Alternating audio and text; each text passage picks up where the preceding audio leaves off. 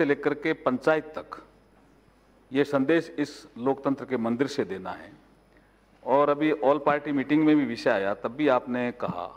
तो तीन आप आचार संहिता बनाने के लिए बात थी। तो एक टेक्निकल मुद्दा करके मैं मेरा ये प्रस्ताव रखूँगा, क्योंकि इसी आसन से एक घोषणा हुई थी कि दो तारीख से जो घटनाक्रम घटा पाँच तक कोई कमेटी बनेगी। एक विषय इसमें टेक्निकल रहेगा तो वो आपको देखना होगा।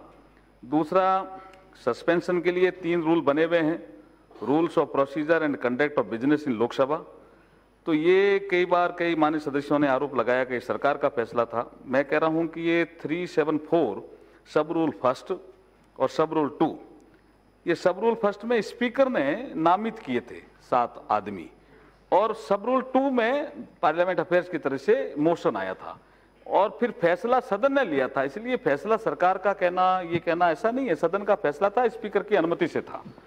अब मैं, आपने चूँकि मुझे प्रस्ताव रखने का कहा है तो honourable speaker sir I give a notice of my intention to move the following motion under proviso to rule three seven four within bracket two of the rules of procedure and conduct of business in Lok Sabha that this house resolve to terminate the suspension under the proviso to Rule 374.2 of the Rules of Procedure and Conduct of Business in Lok Sabha of Sri Gaurav Gogai, Sri T.N. Pratapan, Advocate Dean Kuryakos, Sri Beni Behanan, Sri Manikam Tagore, Sri Rajmohan Unithan, and Sri Gurjit Singh Ojala with immediate effect who were suspended from the service of the House for the remainder of the session on the 5th March 2020.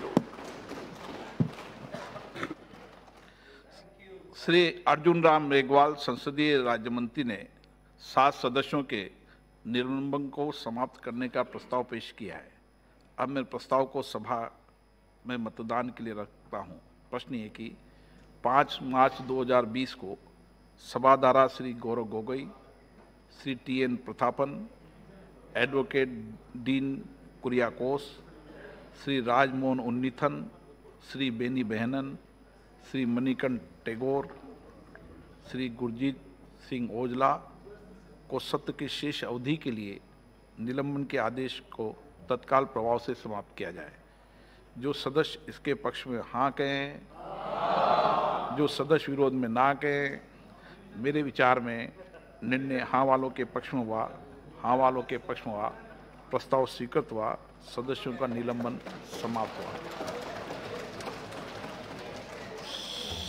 सभा की कार्रवाई दो बजकर पैंतालीस minute तक के लिए स्थगित की जाती है।